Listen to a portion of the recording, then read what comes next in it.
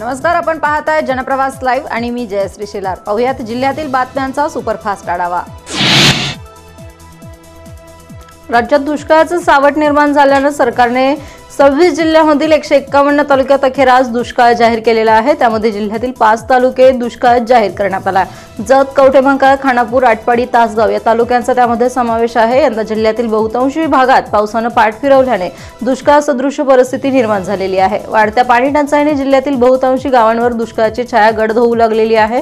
पाण्याअभावी हातातोंडाला आलेली पिकंही करपून गेलेली आहेत. येत्या काही दिवसात पिण्याच्या पाण्याचा प्रश्नही भेडसावण्याची भीती आहे. जिल्हा प्रशासनाकडून पेरण्या आणि पीक पाहणीचा प्राथमिक अहवाल तयार करण्यात आला आहे पन्नासपेक्षा कमी आणेवारी असलेली तासगाव मिरज कवठेमंका जत आणि आटपाडी तालुक्यातील दोनशे सेहेचाळीस गावांचा समावेश आहे. तो अहवाल शासनाला पाठवलेला आहे. जत कवठेभंका खानापूर आटपाडी तासगाव या भागात पावसानं पाठ फिरवली आहे. या भागात परतीचा पाऊस चांगला होतो. बळीराजाही आबाळाकडे डोळे लावून बसलेला आहे. आज पडेल उद्या पडेल या आशेवरती आहे. मात्र पावसाची दडी कायम राहिली आहे. दुष्काळ स्थिती वाढू लागलेली असल्याने शासनाकडून गांभीर्यानं घेतलं गेलं आहे पहिल्या टप्प्यात एकशे एक्कावन्न तालुक्यात दुष्काळ जाहीर करण्यात आलेला आहे. त्यामध्ये जत कवठेमंका खानापूर आटपाडी आणि तासगाव या पाच तालुक्यांचा समावेश आहे. जिल्हा परिषदेच्या अध्यक्ष बदलावरून भाजपमध्ये जोरदार संघर्ष उफाळून आला असताना महापालिकेतील पदाधिकाऱ्यांविरोधात भाजप नगरसेवकांमध्ये धुसफूस सुरू झालेली आहे.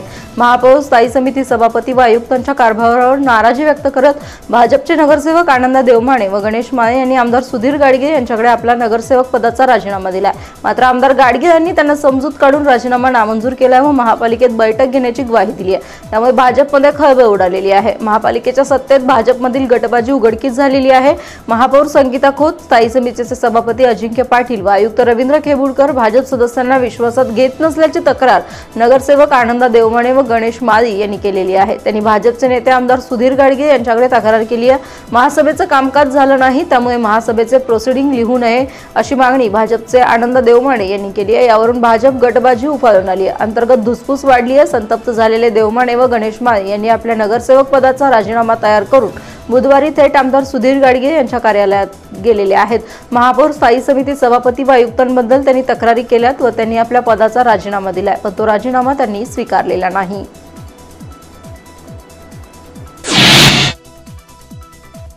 जनतेला आश्वासनाचं गाजर दाखवून राज्यात सत्तेवर आलेल्या भाजपला चार वर्ष झाली आहेत. मात्र जनतेला दिलेल्या आश्वासनांची पूर्तता न झाल्याने युवक काँग्रेसचे जिल्हाध्यक्ष मंगेश चव्हाण यांच्या नेतृत्वाखाली भाजपचा निषेध व्यक्त करण्यासाठी स्टेशन चौकात अनोखासह निषेधासन आंदोलन करण्यात आले कार्यकर्त्यांनी राफेल आसन महागाई आसन क्लिनचिट आसन गाजर आसन मौन आसन धार्मिक आसन बेरोजगार आसन अशी विडंबनात्मक योगासनं केली. स्टेशन चौकातील महात्मा गांधी पुतळ्यासमोर हे आंदोलन करण्यात आले राज्यातील भाजप सरकारने विधानसभा निवडणुकीत अनेक आश्वासने दिली होती. मात्र या आश्वासनांची पूर्तता झालेली नाही. आज चार वर्ष पूर्ण झालेली आहेत. यानिमित्त युवक काँग्रेसच्या वतीने आंदोलन करण्यात आलंय. सत्ता आल्यानंतर आठ दिवसात धनगर समाजाला आरक्षण देणार असं सांगणारे भाजप नेते आता का गप्प बसलेले आहेत? जनता असे प्रश्न विचारत आहे. पण याची भाजपला काहीच खंत वाटत नाही. उलट अशी आश्वासनं निवडणुकीपुरती द्यायची असतात असं सांगितलं जात आहे. त्यामुळे जनतेत संतापाची लाट आहे. आगामी निवडणुकीत भाजप भुईसपाट झाल्याशिवाय राहणार नाही असा इशारा मंगेश चव्हाण यांनी दिला आंदोलनात काँग्रेस काँग्रेस नेत्या जयश्रीताई पाटील महानगरपालिकेचे विरोधी पक्षनेते उत्तम साखळकर नगरसेवक संतोष पाटील मनोज सरगर अमर निंबाळकर अमित पारेकर युवकचे जिल्हा उपाध्यक्ष संदीप जाधव राजमाणे आदी सहभागी झाले होते. महाराष्ट्रात भाजप सरकार स्थापन होऊन चार वर्षे पूर्ण झाले आहेत. आणि ह्या चार वर्षाच्या कालावधीमध्ये ह्या भाजप सरकारनं जे जनतेची फसवणूक करून व वेगवेगळी आश्वासन देऊन फक्त जनतेला वेटीस धरण्याचं काम केलं आहे याचा निषेध म्हणून युवक काँग्रेसच्या वतीनं त्यांच्याच भाषेत म्हणजे प्रत्येक वेळी तुम्ही बघितलं असाल तर ते योगासनाचा जास्त प्रचार करतात. या योगासनाच्या माध्यमातून जे ज्या गोष्टीवर त्यांनी भ्रष्टाचार केला आहे त्याचा आम्ही योगासनाच्या माध्यमातून निषेध करण्याचा प्रयत्न आणि जनतेसमोर आमचे आंदोलन व त्यांचा भ्रष्टाचार जनतेसमोर मांडण्याचा इथं या ठिकाणी युवक काँग्रेसच्या वतीनं प्रयत्न केला आहे. यामध्ये महागास मागास हे यामध्ये राफेल आसन महागाई आसन अभ्यास आसन अशा प्रकारचे वेगवेगळे आसन करून आम्ही जनतेसमोर त्यांचा भ्रष्टाचार मांडण्याचा प्रयत्न युवक काँग्रेसच्या वतीनं केला आहे. सांगली शहरातील काळ्याखणीत आज सकाळी दहाच्या सुमारास एकाचा मृतदेह तरंगताना आढळलाय. प्रकाश पवार असं त्या मृताचं नाव आहे. विश्रामबाग पोलिसांनी तातडीने घटनास्थळी धाव घेतली जीवरक्षक टीम आणि अग्निशमन दलाच्या मदतीने मृतदेह पाण्यातून बाहेर काढला गेला. संशयास्पद मृत्यू असल्याबाबत परिसरात चर्चा होती. मात्र उत्तरीय तपासणीत पाण्यात बुडून मृत्यू झाल्याचं स्पष्ट झालंय. प्रकाश पवार हा सुंदरनगरमध्ये आईसोबत राहत होता. दारूचं व्यसन होतं. सात दिवसांपूर्वी पैसे मिळाले होते. उसने घेतलेल्या पैशांची परतफेड करून विजयनगर येथील भावाच्या घरी गेला. दारू पिऊन आल्याने भावाने घरी झोपण्यास सांगितलं मात्र भावाचं न ऐकता तिथून तो निघून गेला. त्यानंतर त्याचा फोनच बंद लागत होता. दरम्यान आज सकाळी दहाच्या सुमारास काळ्याखणीतील पूर्व बाजूनं एक मृतदेह पाण्यात तरंगताना नागरिकांना दिसला. त्यानंतर तातडीने पोलिसांना कळवण्यात आलं. पोलिसांनी घटनास्थळी धाव घेतली. त्यानंतर मृतदेह काढण्यासाठी अग्निशमन दलाची बोट मागवण्यात आली. जीवरक्षक टीमने मृतदेह पाण्यातून बाहेर काढला. सात दिवसांपूर्वी पाण्यात बुडून मृत्यू झाल्याने मृतदेह सडलेल्या अवस्थेत होता. तेथून येथील शासकीय रुग्णालयात उत्तरीय तपासणी करण्यात आली. पाण्यात बुडून मृत्यू झाल्याचा अहवाल अहवालात नोंद आहे. मात्र ही आत्महत्या नसून संशयास्पद मृत्यू असल्याची चर्चा होती. त्या अनुषंगानेही पोलीस तपास करीत आहेत. काळ्या खणीजवळ बघ्यांची मोठी गर्दी जमा झाली होती. दसरा चौकात वीस वर्षांपूर्वी दुहेरी खून झाला होता. त्यावेळी प्रकाश पवार याचं नाव आलेलं होतं. त्यातून तो निर्दोष मुक्त होता. मात्र त्याच्या गुन्हेगारी पार्श्वभूमीमुळे परिसरात संशयास्पद मृत्यू झाल्याची चर्चा सुरू होती.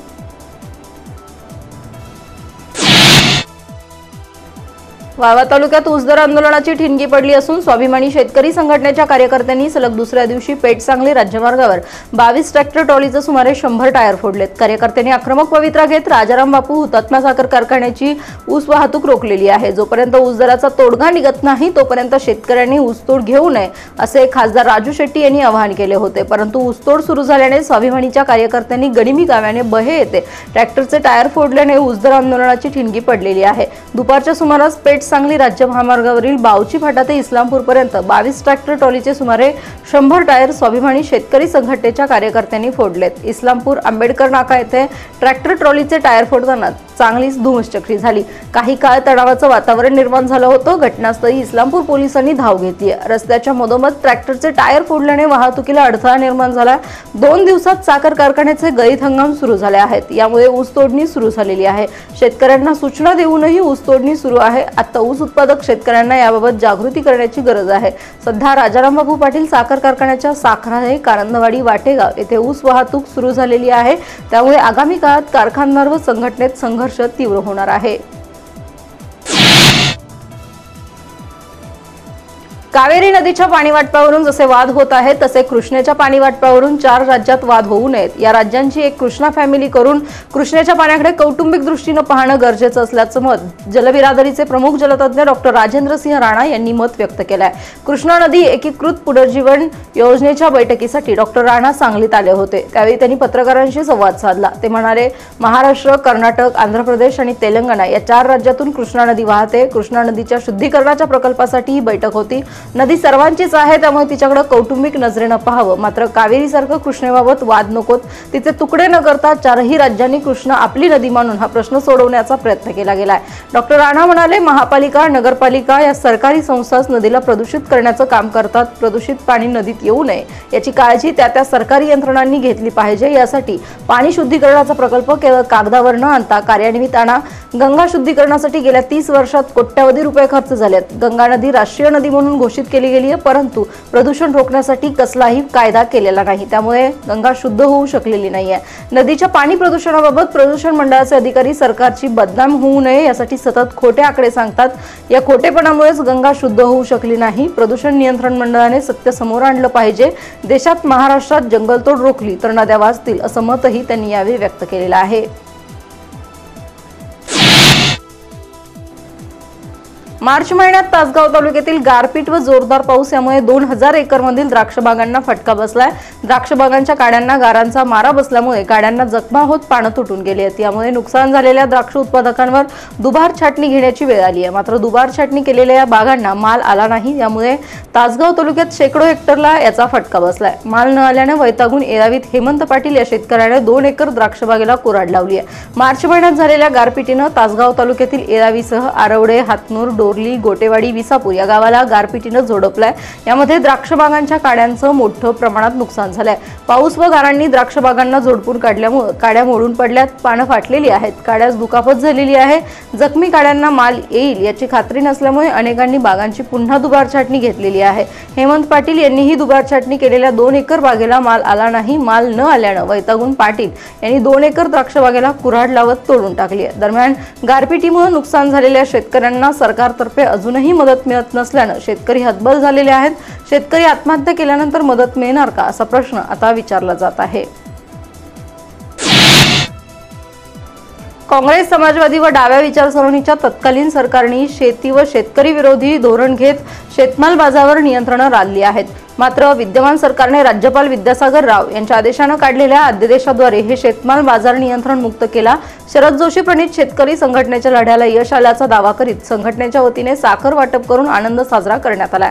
संघटनेच्या गणपती मंदिर कार्यालयासमोर साखर वाटप करण्यात आली आहे. यावेळी संजय कोले यांनी सांगितलं संघटना अनेक दिवसांपासून शेतमाल बाजार नियंत्रण मुक्त करावा अशी मागणी करीत होती. मागील सरकारनं शेतमाल बाजार पूर्णपणे बाजार समित्या अडते व्यापारी हमाल तोलाईदार व राजकारणी यांच्या हातात ठेवला शेतकऱ्यांना त्यांच्या मालाचा भाव ठरवण्याचा अधिकारच ठेवला नाही. त्याचा फटका शेतकऱ्यांना बसलाय. शेतकऱ्यांचं मोठं शोषण झालंय. शेतकरी आत्महत्या करू लागलेत. उत्पादन खर्च निघेल अशीही दराची हमी नव्हती. शेतमाल हव्या त्या दराने लुटला जात होता. त्यासाठी संघटनेनं अनेक आंदोलनं केली. नव्या आदेशानं आता शेतकरी सीमांकित क्षेत्रामध्ये शेतमालाचं पणन करू शकतील. शेतकऱ्यांना धान्य कापूस तेलबिया भाजीपाला फळं कांदा बटाटा पशुधनाचा दर ठरवण्याचा अधिकार मिळालेला आहे. तर व्यापाऱ्यांना खरेदी विक्रीचा अधिकार मिळालेला आहे.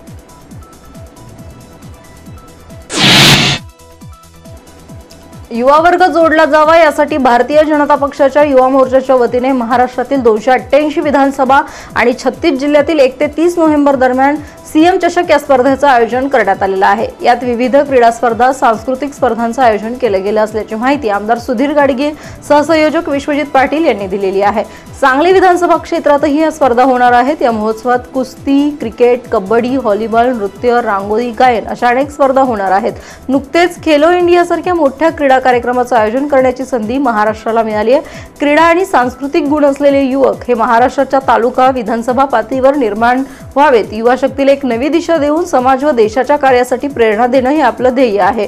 या स्पर्धांच्या माध्यमातून महाविद्यालयातील युवा शक्तीची कला व क्रीडा रुची वृद्धिंगत व्हावी हा प्रयत्न आहे. सांगली विधानसभा क्षेत्रातील सांगली शहर आणि बारा गावांसाठी ही स्पर्धा एक ते तीस नोव्हेंबर दरम्यान सीएम स्पर्धा होणार आहे. शासनाने आतापर्यंत ज्या सामाजिक योजना सुरू केलेल्या आहेत त्या योजनांची नावं त्या खेळाडूंना दिलेली आहेत. सर्व सहभागी खेळाडूंना मुख्यमंत्र्यांच्या स्वाक्षरीचे सहभाग प्रमाणपत्र देण्यात येणार आहे. स्पर्धेतील विजेचे विजेते स्पर्धा ज्या राज्यपातळीवर स्पर्धेत उतरतील यातील विजेत्यांना रोख बक्षिसं व प्रमाणपत्रही देण्यात येतील.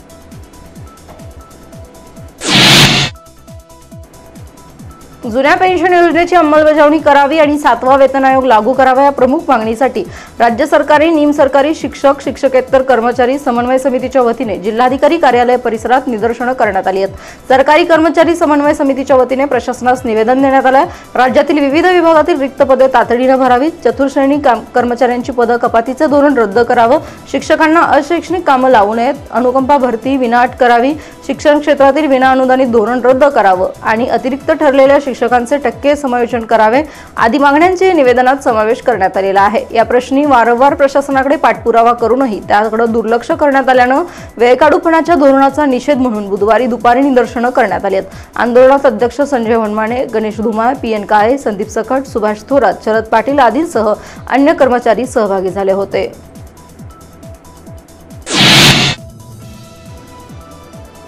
बेळंकीचे श्री शिवलिंग शिवाचार्य महाराज यांच्या हस्ते सलगरेत मोहन हार्गे यांच्या संकल्पनेतून साकारत असलेल्या मंदार प्लाझाचं भूमिपूजन व पायाभरणी मोठ्या उत्साहात संपन्न झाली आहे. मिरज पूर्व भागातील सलगरेत प्रथमच रहिवाशी संकुल शोरूम व व्यापारी गाळ्यांसह सर्व सोयींयुक्त तसेच सलगर येथील मध्यवर्ती व प्रशस्त अशा दत्त मंदिराजवळ मंदार प्लाझा उभारला जात असून यामध्ये नऊ दुकानगाळे व अकरा वन बीएचके फ्लॅटची निर्मिती करण्यात येणार आहे. यासाठी बुकिंग सुरू असून यामध्ये प्रधानमंत्री आवास योजनेच्या लाभासह संपूर्ण वास्तुशास्त्र पद्धतीच्या रचनेसोबतच सीसीटीव्ही कॅमेऱ्याची सोय असून प्रत्येक फ्लॅटमध्ये सोलर सिस्टीमच्या गरम पाण्याची सोय आहे.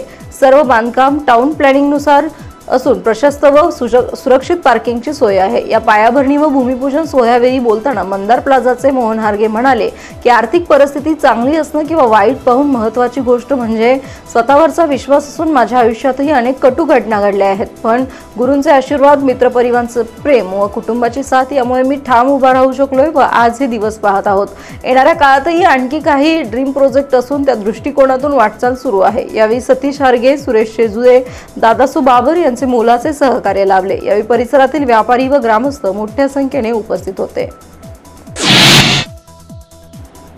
आज सांगली जिल्हा विद्यार्थी काँग्रेसच्या वतीने सांगली जिल्ह्यातील सांगली मिरज पलूस कडेगाव जत शिराळा आणि वाळवा या प्रमुख शहरांमध्ये भाजप सरकारला चार वर्ष पूर्ण झाले म्हणून भाजपच्या नेत्यांनी केलेल्या फसव्या घोषणेनुसार दरवर्षी दोन कोटी नोकऱ्या देऊ असं आश्वासन देऊन युवकांची आणि विद्यार्थ्यांची मतं घेतली मात्र नोकऱ्या मिळाल्या नाहीत असा आरोप करत आज जिल्ह्यातील विविध कॉलेजच्या भिंतींवर विडंबनात्मक वाक्य लिहून केंद्र आणि राज्य सरकारचा निषेध करण्यात आला विद्यार्थी काँग्रेसचे अध्यक्ष सौरभ पाटील यांच्या नेतृत्वाखाली आंदोलन करण्यात आलेलं आहे. आजच्या सुपरफास्ट बातम्यांच्या आढाव्यामध्ये आपण इथंच थांबणार आहोत. आमच्या ताज्या अपडेट पाहण्यासाठी आमचं जनप्रवास लाईव्ह हे चॅनेल सबस्क्राईब करा. धन्यवाद.